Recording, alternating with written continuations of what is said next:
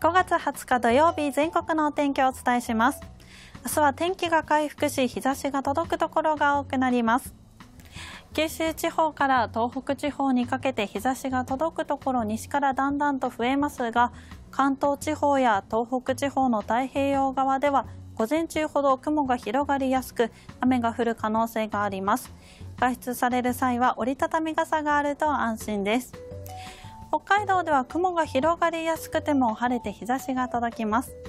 また気温は晴れているところでは朝は少しひんやり感じても日中は高くなります。一日の気温の変化気をつけてお過ごしください。最新の気象情報はお天気アプリウェザーニュースからもご確認いただけます。